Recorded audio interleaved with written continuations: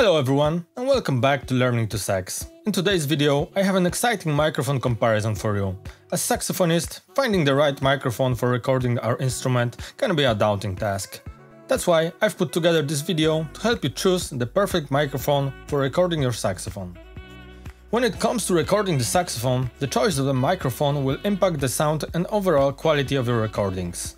That's why I've selected 4 distinct microphones of different types, we'll be testing the Shure SM57 dynamic microphone, the Audio-Technica AT2020 condenser microphone, the Beyerdynamic M160 ribbon microphone and the Kimafun wireless microphone. Whether you're looking for durability, affordability, vintage warmth or wireless convenience, I've got you covered. Before we start the comparisons, let's quickly go over the key features of each microphone. The Shure SM57 is a dynamic microphone known for its durability and versatility. It's a great workhorse, it's commonly used in live performances and studio recordings for various instruments, including the saxophone. And you can also use it to hammer nails.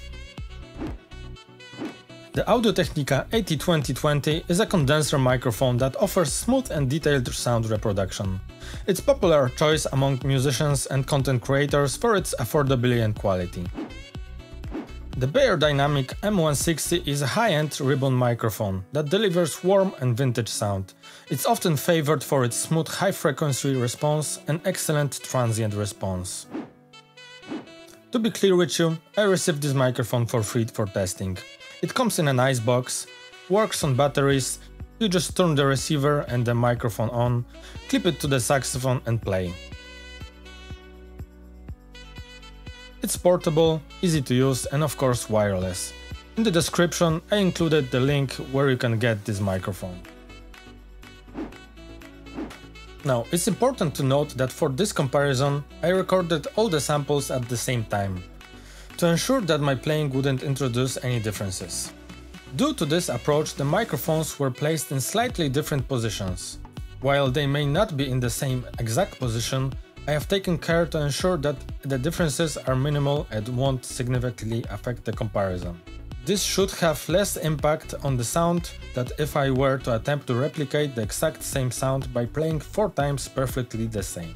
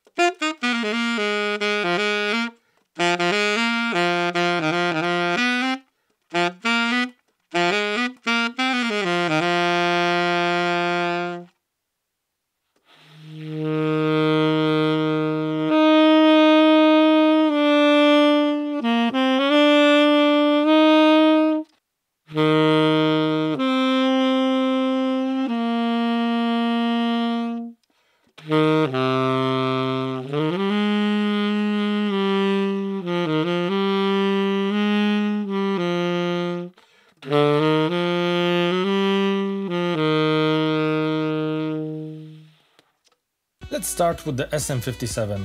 It captures a well-balanced sound with a boost in the upper mid-range frequencies, which can help the saxophone cut through the mix. For me, it sounds a little nasally and lacks warmth.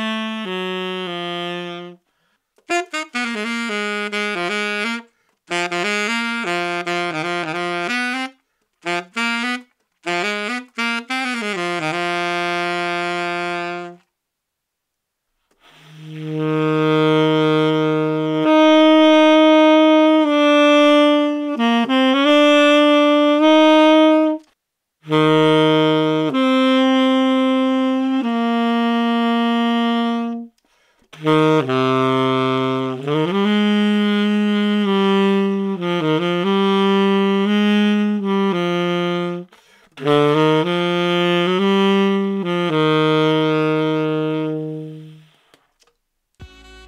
AT 2020 provides a bright and detailed sound, emphasizing the higher frequencies of the saxophone. It adds a sense of airiness and sparkle, but it does sound a little thin.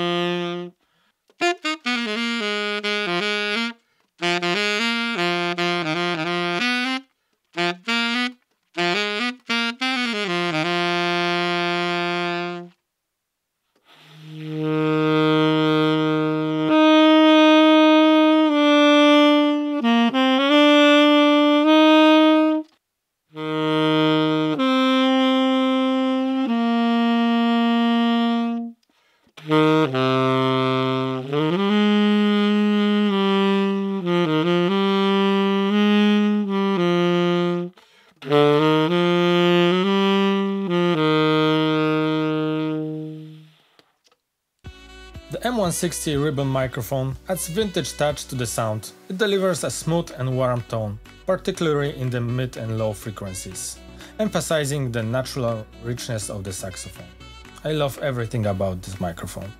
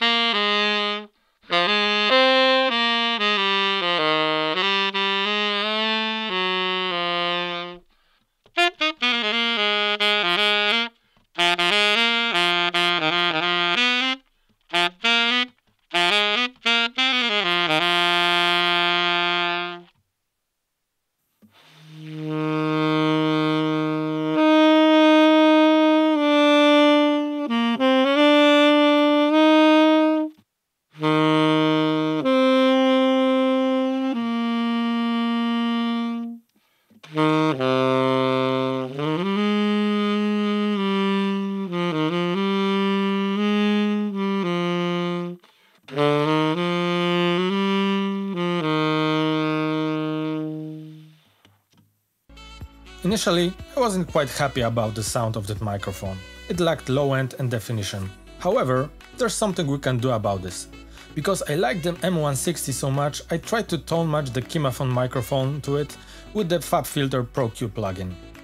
This worked surprisingly well. It helped to enhance the overall tonal balance and brought out more detail in the saxophone sound. The downside was the key noises were also amplified. Let's listen to the tone match version. Thank you.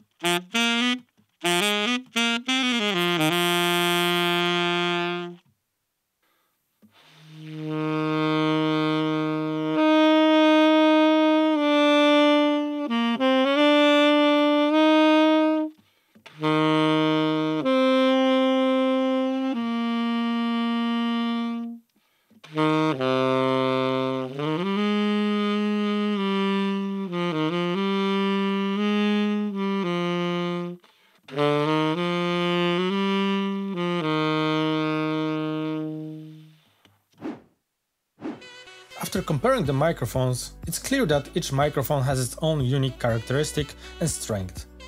The Shure SM57 is a reliable all-around option, while the Audio-Technica provides a bright and detailed sound. The Beyerdynamic M160 offers a vintage vibe and the Kimafun clip-on wireless provides wireless convenience.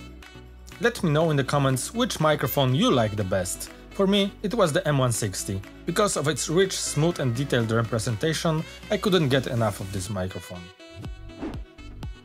Thank you for watching. If you found this video helpful, don't forget to give it a thumbs up and subscribe to Learning to Sax for more videos. And don't forget to keep practicing.